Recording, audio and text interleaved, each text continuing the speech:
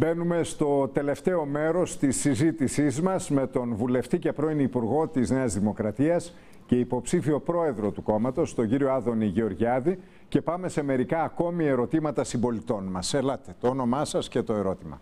Μιχαλόκονας Αντώνης, φοιτητής νομικής. Ε, αναφερθήκατε στους νέους πριν. Είναι γενικά παραδεκτό ότι στη νέα γενιά η Νέα Δημοκρατία πάσχει πολύ σοβαρά. Έχει, έχει μηδενική σχεδόν απήχηση. Ε, για ποιο λόγο πιστεύετε καταρχάς ότι οι νέοι δεν δείχνουν εμπιστοσύνη στη Νέα Δημοκρατία; Δεύτερον, πώς σκοπεύετε να το αλλάξετε αυτό; Και τρίτο, πιο συγκεκριμένο, ε, θεωρώ ότι ο τρόπος που λειτουργεί ο ΝΕΔ σήμερα ε, και, και, και κυρίως κάποια φαινόμενα που οι νέοι αποκαλούμε παραγοντιλίκια, ε, είναι που διώχνουν πολύ κόσμο. Αν συμμερίζετε αυτήν την άψη και επίσης πώς σκοπεύετε να το αλλάξετε. Λοιπόν, πιστεύω ότι ο κυριότερος λόγος που οι νέοι έχουν γυρίσει την πλάτη στη Νέα Δημοκρατία, την έχουν γυρίσει δυστυχώς, είναι ότι η Νέα Δημοκρατία δείχνει ως ένα νοθρό κόμμα του κατεστημένου. Είναι αυτό που έλεγα προηγουμένως την ιδεολογική κυριαρχία της αριστεράς. Ο νέος, για να ακολουθήσει κάποιον, πρέπει αυτό να τον εμπνεύσει, να τον συνεγείρει. Η Νέα Δημοκρατία σήμερα λέει σωστά πράγματα, αλλά δεν συνεγείρει. Γιατί δεν συνεγείρει, γιατί δεν δείχνει ότι πράγματι πιστεύει εκ βάθους αυτά τα οποία λέει. Για να φέρει το μαζί στην νεολαία, πρέπει να έρθει να δώσει μάχες και να εμπνεύσει τον νέο να ακολουθήσει. Δεύτερον, πράγματι οι ασθένειες που έχει το κόμμα μας στο κεντρικό επίπεδο, που είναι αυτό που έλεγα πριν, η ιδέα ότι είναι ένα κλειστό, ένας κλειστός χώρος, εγώ ας πούμε θεωρώ τον εαυτό μου εξαίρεση τον κανόνα. Το πώς κατάφερα να είμαι εδώ, αυτό είναι άλλο θέμα. Εκτύχησε ενδεχομένως. Όμως ο νέος δεν θα ακολουθήσει ένα κόμμα το οποίο θεωρεί ότι τον διώχνει και του έχει κλειστές πόρτες. Σας είπα όμως προηγουμένως ότι εγώ ονειρεύομαι μια νέα δημοκρατία που θα είναι ανοιχτή. Που εσύ που τώρα κάθεσαι εκεί και με βλέπεις και βλέπεις ότι εγώ που δεν είμαι από τζάκι, που με κατηγορούν ως γραφικός, βιβλιοπόλιος, το ένα ως το άλλο, αλλά το έχω καταφέρει, ενώ με κατηγορούν για όλα αυτά, να έχω πάρει 75.000 σταυρούς του Β' Αθηνών, να έχω βγει δύο φορές βουλευτής, να έχω γίνει υπουργός και τώρα διεκδικώ την αρχηγία. Εσύ που βλέπεις εμένα, Μπορεί να ονειρεύει τον εαυτό σου από αύριο, αν εγώ κερδίσω, ότι στο μέλλον θα είσαι στη θέση μου. Εάν αυτό το δώσουμε στη, στη νέα γενιά ως αίσθηση ότι η νέα δημοκρατία είναι ανοιχτή και θα δώσει δρόμο και ευκαιρίες σε όσοι την υποστηρίξουν, τότε η νεολαία θα ακολουθήσει. Ξέρεις γιατί; Γιατί οι ιδέες που εκπροσωπεί η Νέα Δημοκρατία. Ε, ναι, αλλά πρέπει κάτι να τη πείτε και για τα προβλήματά της. Δεν αρκεί μόνο να είστε ανοιχτό πολιτικό Όχι, εδώ έρχομαι. Οι ιδέες ευρωπαϊκής δεξιάς κυριαρχούν στις νεολαίες όλων των άλλων κρατών. Γιατί κυριαρχούν στις νεολαίες όλων των άλλων κρατών; Γιατί καταλαβαίνουν εκεί οι νέοι ότι πράγματι με τις φιλελεύθερες ιδέες θα βρουν δουλειά. Με τις φιλελεύθερες ιδέες θα μπορούν να προχωρήσουν στη ζωή και να γίνουν σπουδαίοι. Με τις φιλελεύθερες ιδέες θα μπορέσουν να προκόψουν και να φτιάξουν μια ωραία οικογένεια και να ζήσουν τη ζωή τους όπως θέλουν. Εμείς που είμαστε Νέα Δημοκρατία και που εκπροσωπούμε αυτές τις ιδέες, εσένα που είσαι νέος, δεν σε έχουμε πείσει γι' αυτό στην Ελλάδα. Αυτό θα το αλλάξω αν με αξιώσουν οι Δημοκράτες να εκλέξουν πρόεδρό τους. Για το τρίτο ερώτημα. Και τρίτο; Τα παραγοντιλίκια. Είπα, οι ασθένειες που έχει το κεντρικό σώμα του κόμματος προφανώς έχουν περάσει και στην ΟΝΕΔ. Φέρνω ένα παράδειγμα. Γιατί εγώ ξέρω δεν κρύβομαι, μάλιστα να τα λέω. Η ιδέα του κ. Σάκης Ιωαννίδης, που είναι πρόεδρος ΟΝΕΔ και είναι μέλος του ΣΚΕΦΕ, βγαίνει και λέει διαφωνώ με την ψηφιότητα Γεωργιάδη, δεν με ενοχλεί ως Γεωργιάδης, με ενοχλεί γιατί προσπαθεί να χρησιμοποιήσει την ΟΝΕΔ για να επηρεάσει το αποτέλεσμα. Ενώ αυτό δεν πρέπει να το κάνει. Αυτά θα τελειώσουν. Παραγοντιλίκια. Κλειστά κινητά. Η ιδέα ότι θα τρέχουν οι άλλοι για να βγαίνω εγώ βουλευτής και όταν έχω βγει βουλευτής θα έχω κλειστό το κινητό και θα με βρίσκει και θα θεωρώ ότι η καρέκλα είναι δική μου και αυτός που έτρεχε όλο το προηγούμενο διάστημα μην τον είδατε. Αυτά τελειώσανε με Άδωνη Γεωργιάδη. Κινητά ανοιχτά, στήριξη στα στελέχη μας, στήριξη στις ιδέες μας, αγώνα στην κοινωνία και, για να μην το ξεχάσω, και κοινωνική δικαιοσύνη. Γιατί ένα από τα χαρακτηριστικά της φιλελεύθερης παράταξης είναι πάντα το να βοηθάμε τους αδύναμους. Δεν είμαστε κοινωνικά ανάλγητοι, ούτε κοινωνική ευαισθησία είναι προνόμιο της αριστεράς, όπως νομίζουμε στην Ελλάδα. Μάλιστα. Ελάτε. Καλησπέρα κύριε Γεωργιάδη. Ονομάζομαι Γρηγόρης Μπαλακάκης. Ε, και είμαι από το είδος που τελεί υπό εξαφάνιση τους ε, ιδιωτικούς υπαλλήλους. Θέλω λοιπόν να ρωτήσω το εξής. Ε, ή μάλλον να κάνω μία σημείωση. Ειλικρινά, δεν με ενδιαφέρει τι λέγατε όταν είστε στο Λαϊκό Ορθόδοξο Συναγερμό. Ε, και δεχθήκατε σωρία ερωτήσεων και είναι απολύτως φυσιολογικό. Ενδιαφέρει άλλους όμως. Οπότε πάμε σε αυτό Εντάξει, που ενδιαφέρει Όταν εσάς. είσαι σε ένα άλλο κόμμα, δεν θα πει για την κυβέρνηση κολακευτικά Πάμε λόγια. τώρα σε αυτό που ενδιαφέρει εσάς. Οκ. Στη Νέα Δημοκρατία λοιπόν συνέβη το εξής παράδοξο. Ο κακός ακροδεξιός, ας πούμε, Σαμαράς έφερε 28%. Ο καλός κεντρώος ε, χιουμορίστας, άνετος, ε, χαμογελαστός Βαγγέλης Μεϊμαράκης έφερε τόσο. Και σε απόλυτες τιμές είναι και μείον 200.000 ψήφους. Αυτή άλλωστε και είναι μια προσωπική γνώμη γιατί θεωρώ αυτή την προσωπική καμένη, αλλά εκεί είναι δικό μου, δική μου γνώμη. Η ερώτηση λοιπόν που τίθεται είναι πώς εσείς τι καινούριο κομίζετε, είτε σε ό,τι αφορά το κόμμα; Εγώ θα ήθελα δηλαδή να μας πείτε κάτι για την πολιτική, έστω ακροθυγός, στο πλαίσιο της παρούσης εκπομπής. Δηλαδή, εσείς πώς φαντάζεστε ότι θα ηγεμονεύσουν οι δεξιές ιδέες, γιατί να ηγεμονεύσουν οι δεξιές ιδέες, τι καλό έχει πραγματικά να προσδώσει η δική σας Πρώτα απ' υποψηφιότητα όλα- στο, και διαφορετικό στο πολιτικό γίγνεσθε; Πρώτα απ' όλα, όχι Ευχαριστώ μόνο, πολύ. όχι μόνο οι δεξιές ιδέες. Και να το ξεκαθαρίσω. Εγώ μπορεί να αυτοπροσδιορίζομαι ως δεξιός. Αυτό δεν σημαίνει ότι η Νέα Δημοκρατία έχει έναν δεξιό αρχηγό, παύρη ένα κεντροδεξιά παράταξη. Ούτε ότι αν είναι κάποιος δεξιός αρχηγός πρέπει να φεύγουν οι κεντρώοι. Όπως αντίστροφα, αν έρθουν ένας κεντρός αρχηγός, δεν σημαίνει πρέπει να φεύγουν οι δεξιοί. Εμείς είμαστε μια κεντροδεξιά παράταξη. Εκπροσωπούμε τις ιδέες της ευρωπαϊκής κεντροδεξιάς, άρα μην το μικραίνουμε. Είναι ολόκληρο. Εγώ μπορώ να λέω ότι είμαι δεξιός, γιατί θέλω να δώσω το μήνυμα στον κάθε δεξιό ότι πρέπει να υπερηφάνεια να το λέει και να μην φοβάται την αριστερά. Η Νέα Δημοκρατία όμω είναι κεντροδεξιά. Δεν αλλάζει ο ιδεολογικός προσανατολισμός. Δεν θα αποφασίσει ο Άδων Γεωργιάδης την αλλαγή του ιδεολογικού προσανατολισμού της Νέας Δημοκρατίας. Πάντως δεν λειτουργεί έτσι το πράγμα. Δεν μαζευόμαστε δηλαδή πέντε δεξιοί και πέντε κεντρώοι και αυτό λέγεται κεντροδεξιά. Θέλω να πω ότι ε, κεντροδεξιά σημαίνει μια συγκεκριμένη τοποθέτηση απέναντι στα πράγματα. Σημαίνει ας πούμε στο μεταναστευτικό να μην λες ότι θα κλείσουν τα σύνορα ή να μην λες ότι όποιος ψηφίζει ΣΥΡΙΖΑ πρέπει να πάρει και το διαβάζω εντός εισαγωγικών από παλιά σας δήλωση ένα λαθρομετανάστη έτσι είπατε στο σπίτι του.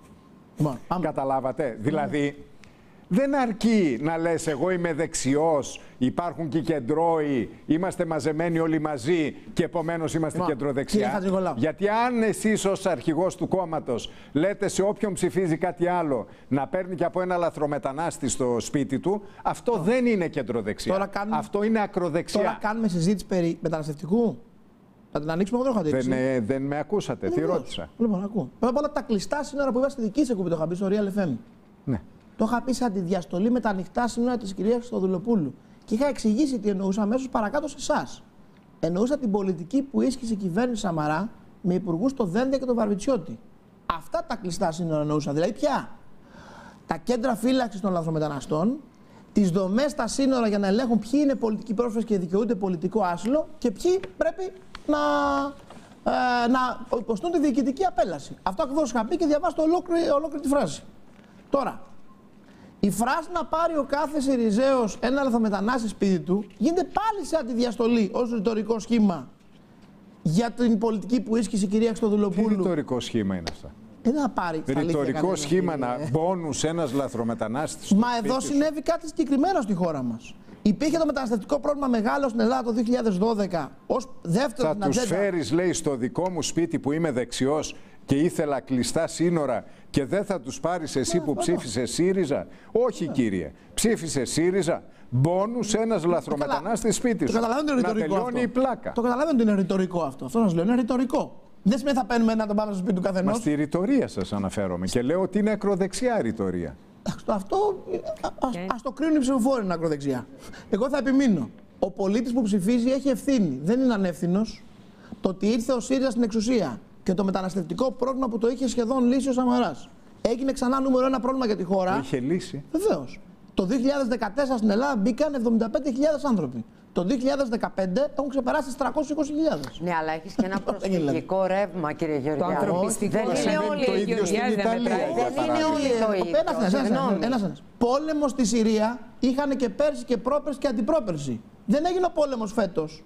Μην τρώτε το παραμύθι Ναι, του κύριου αλλά Τσίπρα. Τέτοια ρεύματα, μισό λεπτό, δεν είναι Μην τρώτε παραμύθια. Του κυρίου Ο- Ρέντζη. ο- Ο Τέτοια κύριος ρεύματα Ρέντζη. Κυρίου Ρέντζη. Ο υπάρχουν κύριος και Ρέντζη. ακριβώς Ένα, στην δεν θα απαντάω Ιταλία ταυτόχρονα. φέτος. Θα απαντήσω στους έναν. Ε, έναν. το ίδιο Έναν, θέμα έναν. είναι όμως. Όχι, δεν είναι το ίδιο. Γιατί η αναλογία πέρσι Ελλάδος-Ιταλίας ήταν 9 στην Ιταλία, 1 στην Ελλάδα. Αυτό είπε Σαμαρά.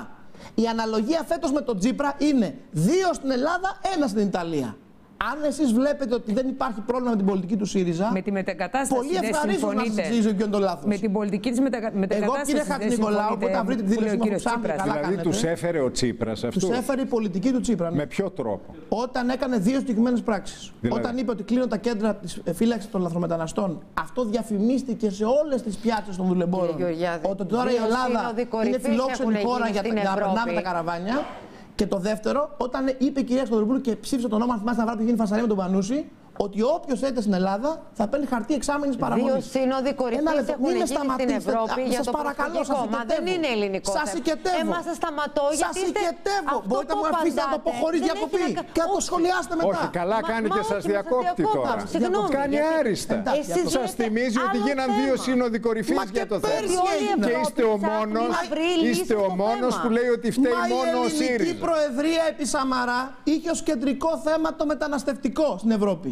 Και η, ακολουθή, και η, η ακολουθήσασα Ιταλική προεδρία του Ρέντζι είχε επίσης ως κεντρικό θέμα το μεταναστευτικό. Το μεταναστευτικό δεν έγινε ευρωπαϊκό θέμα από τον Τζίπρα. Ήταν ευρωπαϊκό θέμα. Μα να σου το τώρα πω έχουμε διαφορετικά, ένα κύριε Χατζηνικολάου. προσφυγικό Και να δει, ρεύμα. παρακαλώ, Είναι παρακαλώ, άλλο πράγμα, παρακαλώ. κύριε Γεωργιάδη. Για ποιο λόγο μας έδωσε η Ευρωπαϊκή Ένωση το χαρτοφυλάκιο της μετανάστευσης στον Έλληνα Επίτροπο, Γιατί είχε πολεμήσει ο Σαμαράς και είχε κάνει ευρωπαϊκό θέμα το μεταναστευτικό. Άρα δεν το έκανε ευρωπαϊκό θέμα ο Τσίπρας. Μάλιστα. Αν το είχε κάνει ο Τσίπρας, δεν θα είχαμε τον Λοιπόν, Αβραμόπουλο ελάτε. Υπουργό Μετανάστευσης της Ευρώπης. Το όνομά σας και το ερώτημά σας. Συγγνώμη, επειδή φώναξα, να μην φωνάζω, αλλά είναι και πρωινέ ώρες. Ε, δεν γίνεται. Και χωρίς φωνή Άδωνης δεν Ε, γίνεται. τώρα ε, θέλω να αλλάξω τώρα, αλλά με παρασύρε. με παρασύρε. Λοιπόν, καλημέρα κύριε Πρόεδρε. Α, συγγνώμη, ε, δε- δευτερο- Ευχαριστώ πολύ, αλλά δευτερόλεπτα. δευτερόλεπτα. Να ξέρετε, κύριε Χατζηνικολάου, μπορείτε να βρείτε το βίντεο. Είμαι με την κυρία Χρυστοδουλοπούλου στο Μέγκα στο πρωινό, τέλος Φεβρουαρίου, αρχές Μαρτίου, όπου τη λέω με αυτές τις δύο πράξεις που κάνετε θα περάσουν φέτος τις 200.000 άνθρωπου στην Ελλάδα. Και με διέκοψε και μου είπε: Είστε κινδυνολόγος, δεν θα περάσουν τις 100.000. Και τελικώς περάσαν τις 300.000. Αυτό που ζούμε είναι ευθύνη του Τσίπρα. Τώρα, Αυτός το επειδή, έκανε. επειδή ορισμένοι ανοηταίνοντες στο Twitter μου χρεώνουν τη λέξη λαθρομετανάστης, είναι προφανές ότι διάβαζα τις δηλώσεις του κυρίου Γεωργιάδη, έχω αναπτύξει ολόκληρη Σκεπτικό. θεωρία για το ζήτημα αυτό Κύριε Χατζη- Έχουμε διαφωνία στο και, θέμα. είναι και θα ήθελα στοιχειοδός να καταλαβαίνουμε τι ακούμε. Το πρόβλημα Παρακαλώ. δεν είναι η λέξη. Η λέξη σημα- η Για ίδια μένα πρόβλημα- οι λέξεις σημαίνουν, Ακούστε, ακούστε κύριε με. Κοτάκη. Λάθρα. Και οι ζωές δεν είναι λαθρέες. Ακριβώς, ακριβώς. Αλλά το πρόβλημα είναι η εκφορά. Πώς μιλάς για τους ανθρώπους; Το άντε ρε λαθρομετανάστη. Αυτό είναι το πρόβλημα. Η λέξη λαθρομετανάστης Εγώ δεν είπα προέρχεται άντε, από το ρε, επιχείρημα λάθρα, Όχι, εσείς λάθρα τον δίνατε είσοδος. μπόνους ε, για Το κάθε πρόβλημα, το ψηφοφόρο πρόβλημα του σε αυτές τις ΣΥΡΙΖΑ. περιπτώσει είναι Εγώ η είπα κάτι απαξία άλλο. με την οποία την εκφέρεις. Εγώ είπα κάτι άλλο. Εσείς τους λέτε Είπα λαθροεισβολείς από ό,τι βλέπω. είπα ότι αν ακολουθούμε την πολιτική του ΣΥΡΙΖΑ και δεχόμαστε το χρόνο 300-400 χιλιάδες, η Ελλάδα σε μερικά χρόνια δεν θα υπάρχει. Είναι πάρα πολύ απλό. Πάντως ο κύριος Τσίπρας Άρα είναι κατάφερε να διαφορετικό περάσει τη πράγμα. μετεγκατάσταση, Είναι κύριε διαφορετικό Γεωργιάδη. πράγμα. Τηρώντας τα ανθρώπινα δικαιώματα, να ξεχωρίζουμε γρήγορα ποιοι είναι πρόσφυγες και να τους δίνουμε το χαρτί για να μπορούν να πάνε σε όποιο μέρος της Ευρώπης θέλουν και να κάνουν τη ζωή τους άλλο. όπως το δικαιούνται εφόσον είναι Δεν πρόσφυγες. είναι τόσο απλά αυτά Και όσο τα άλλο, περιγράφετε. πράγμα, και άλλο πράγμα να λες, όποιος φτάνει στην Ελλάδα παίρνει εξάμεινη παραμονή, γιατί αυτό είπε ο Τσίπρας, και να κάνεις διεθνές προσκλητήριο, ελάτε στην Ελλάδα. Να ξέρετε, κύριε Νικολάου, το 2010, εγώ έχω ασχοληθεί με το αναθετικό μέχρι στην αρμόδια επιτροπή της Βουλής για πολλά χρόνια. Στο Μέγαρο Μουσικής στην Αθήνα, επί Πρωθυπουργίας Γιώργου Παπανδρέου, τον Νοέμβριο του 9, είχε έρθει, ή μπορεί να ήταν το 10, μπορεί να κάνω λάθος την ημερομηνία, μπορεί να ήταν τον Νοέμβριο του 10, είχε έρθει εδώ πέρα ο Μπαν Κιμούν από τον ΟΗΕ και κάνει το Διεθνές Συνέδριο για τη Μετανάστευση. Και τότε είχαν ανακοινώσει ως επίσημο νούμερο του ΟΗΕ ότι 250 εκατομμύρια Αφρικανοί και Ασιάτες θέλουν να μεταναστεύσουν για διάφορους λόγους στην Ευρώπη. 250 εκατομμύρια. Άρα μην μου λέτε ότι αυτό δεν είναι θέμα πρώτο να, να το δούμε στα σοβαρά. Δεν είναι μόνο ζήτημα να λέμε ωραίες Λοιπόν, κουβέντες. έχουμε λίγο χρόνο. Ένα ερώτημα ακόμη. Ελάτε. Καλημέρα κύριε Πρόεδρε. Καλημέρα. Αστείευομαι. Πρόεδρος δεν έχει γίνει Αστείευομαι, ακόμα. το έχει αυτό μόνος του το, Το έχει πάρει. διεκδικεί. Το διεκδικεί. Ε, συγχαρητήρια για την υποψηφιότητα. Στα Λακίδης λέγομαι. Ε, Είστε πόντιος; Είμαι δημόσιος υπάλληλος. Είστε πόντιος; Ε, πόντιος είμαι, Από ναι. πού; Ε, από τη Σαμσούντα, πατέρας μου. Έχω πάει Σαμσούντα. Γύρισα όλο τον πόντο. Ωραία. Ήμουν αντιπρόεδρος των Έχει και Ευκλήδη. πολιτιστική ιστορία, δεν Ήμουν ξέρω. αντιπρόεδρος των Ευκλήδη Σαχαρνέ για πολλά χρόνια γιατί έχω και μια μικρή ποντιακή ρίζα. Ε, και καλό τους πάντες να πάνε στον πόντο γιατί είναι υπέροχος τόπος. Είναι αλήθεια και ιστορικά το λέει. Ε, θέλω να σας ρωτήσω κάτι. Ε, έχετε ζητήσει συγγνώμη αρκετές φορές για τις συμπεριφορές παρελθόντος και μάλιστα σας είχα ακούσει και σε μια ειλικρινή στάση σας στον κύριο Αρναουτόγλου που είχατε πει ότι ναι, ψήφισα το μνημόνιο ενώ ήξερα την αλήθεια, δεν μπορούσα να την πω στο κοινό, στον κόσμο. Ε, πιστεύετε ότι έναν τέτοιο αρχηγό χρειάζεται η Νέα Δημοκρατία να ξέρει την αλήθεια και να μην τη λέει, ενώ παρουσιάζεστε ότι θέλετε να λέτε πάντα την αλήθεια; Μάλλον, μάλλον δεν την Ευχαριστώ. είδατε όλη τη συνέντευξη. Η Όχι, συνέ- την άκουσα καλά. όλη. Όχι, η συνέντευξη ήταν: Έχετε πει κανένα ψέμα στην πολιτική σας καριέρα; Λέω βεβαίως έχω πει. Ποιο ήταν το ψέμα, όταν ψηφίζαμε το μνημόνιο, είπα. Μη λέξη. Έτσι είναι, Δεν όπως το- βγήκαμε να πούμε στον κόσμο, δυστυχώς καταστραφήκαμε όλοι γιατί χρεοκοπήσαμε και χάσαμε τη δουλειά και θα χάσετε τις δουλειές σας. Και με ρώτησε γιατί δεν το είπατε; Και απήντησα. Γιατί δυστυχώς στην οικονομία για να μπορέσει να γυρίσει η οικονομία χρειάζεται και υψηλό ηθικό. Άρα υπάρχουν στη ζωή τα λεγόμενα, προσέξτε, κατά συνθήκη ψεύδι. Τα κατά συνθήκη ψεύδι ποια είναι, μπαίνεις στο ιατρείο μου και είμαι γιατρός. Και μαθαίνω ότι έχεις καρκίνο στα οστά. Και θα πεθάνεις σε μια εβδομάδα. Δεν σου λέω αδερφέ, έχεις πεθάνει σε μια εβδομάδα. Σου λέω κάτσε να δούμε πώς θα το αντιμετωπίσουμε. Θα πάμε με τα φαρμακάκια μας, να φέρεις και τους συγγενείς σου. Αυτό ακριβώς είπα. Δεν χρεοκοπήσαμε από το Δηλαδή, όταν μνημόνιο. μας όμως. φέρατε το μνημόνιο, ήμασταν μια εβδομάδα Δεν πριν. χρεοκοπήσαμε από το μνημόνιο, προσέξτε. Χρεοκοπήσαμε και μπήκαμε στο μνημόνιο. Αυτό στην Ελλάδα κανείς δεν το κατάλαβε. Ε, ναι. Εάν δεν είχαμε χρεοκοπήσει, ποια η χρειά του μνημονίου; Κύριε θα Γεωργιάδη, δανειζόμασταν από τις αγορές. Το λέτε λες και η χρεοκοπία δεν ανήκει σε εσάς και στο Πασόκ. Τι το λέτε το- ότι δεν είναι το μνημόνιο, αλλά είναι χρεοκοπία; Επαναλαμβάνω. Ε, ναι. 1981-2010. 18 χρόνια έχετε κυβερνήσει από τα 41 και όλας να τα καταστήσετε. 1981, αγαπητή μου Λόρα. 2010, κυβέρνηση Νέα Δημοκρατία. 90-93, 2004-2009. 18 χρόνια συνολικά. από τα δεν είναι 41 συνολικά. έχετε κυβερνήσει. Όχι, δεν θα πάρεις από το 74. Ναι, καλά. γιατί όταν ο Κωνσταντίνος Καραμαλής και ο Γεώργιος Ράλης παρέδωσαν, η κακιά η δεξιά, παρέδωσε την Ελλάδα στον Ανδρέα Παπανδρέου, τα δημοσιονομικά στοιχεία της Ελλάδος τότε ήταν καλύτερα του σημερινού Λουξεμβούργου. Ξέρεις πόσο ήταν η σχέση χρέους ΑΕΠ το 81? 25%. Ξέρεις πόσο την παρέδωσε ο Παπανδρέος στο Μητσοτάκη το 89? 91. Από το 25 στο 91. Ωραία, τα φτιάξετε. Άρα λοιπόν τα τι μου φτιάξετε λες; μετά. Άρα τι μου λες Το εμένα που είναι ο 90-93. Δημοκράτης; Μου λες ότι Το εγώ ο Δημοκράτης, 2004-2009. μου λες ότι εγώ ο Δημοκράτης; Έχω την ίδια ευθύνη για την καταστροφή της χώρας που κυβέρνησα στα 30 χρόνια 8,5 με τον άλλο που κέρδισε 22,5. Όχι. Έχω ευθύνη εγώ ο Δημοκράτης, αλλά όχι την ίδια με τους άλλους. Και επειδή το λέτε και συνέχεια, συγγνώμη, όλο αυτό το παλιό κρατικίστικο Πασόκ, πού είναι σήμερα; Ξέρετε σήμερα που έλεγε για τις τράπεζες ο κύριος Τσίπρας, κύριε Χατζηγολάου, τι θυμήθηκα; Έλεγε για τις τράπεζες, θα αλλάξεις τις διοικήσεις. Και σκέφτηκα στην αρχή, λέω, Μα δεν άλλαξε καμία διοίκηση. Και μετά λέω, Έχει κάνω λάθος. Έχει αλλάξει μία διοίκηση. Ξέρετε ποια διοίκηση τη Εθνική Τραπέζη. Ξέρετε ποια έβαλε; Την κυρία Λούκα Κατσέλη. Δεν μου λέτε κύριε Χατζηνικολάου, η κυρία Λούκα Κατσέλη, όταν είναι υπουργός του Γιώργου Παπανδρέου και φέρνει στη, ζωή, στη, στη Βουλή το μνημόνιο, είναι Πασόκ και μνημονιακή. Και όταν τη διορίζει ο κύριος Τσίπρας, διοικητή της Εθνικής Τραπέζης, είναι ριζοσπαστική, αριστερή, αντιμνημονιακή και α, αντιστεκόμενη στην Τρόικα. Εδώ- Άρα όλο το παλιό κρατικίστικο Πασόκ, κυρία Ιωάννου, αυτό το Σε κομμάτι του αυτό πολιτικού έχετε μας παραδείγματα συστήματος, όμως πολλά εσείς το εντός του πολιτικό κόμματός που μας έφερε Εγώ εδώ άλλος σας είπα είναι ότι όλοι στο κυβερνήσατε ΣΥΡΙΖΑ 90-93 και από το 2004 και δεν τα αλλάξατε. Εσείς έχετε πολλά παραδείγματα εντός του κόμματός σας. Γιατί ψάχνετε στα άλλα κόμματα; Τι εννοείται. Εννοώ ότι η Νέα Δημοκρατία ολόκληρη ήταν άκρος αντιμνημονιακή επί πρώτου μνημονίου και στη συνέχεια είπε μα συγχωρείτε λάθος στην κυρία Μέρκελ και το γύρισε. Εγώ που είχα ασκήσει την πιο σκληρή κριτική στον Αντώνη Σαμαρά για το όχι στο πρώτο μνημόνιο, εγώ το είχα ασκήσει πιο σκληρή από Εννοώ όλους. γιατί ψάχνετε παραδείγματα στις άλλες Να- να- να το παρατάξεις. ολοκληρώσω Έχετε λίγο. στη δική σας. Ξέρετε κάτι; Απέδειξε η ιστορία ότι ο Σαμαράς τα που έλεγε είχε δίκιο.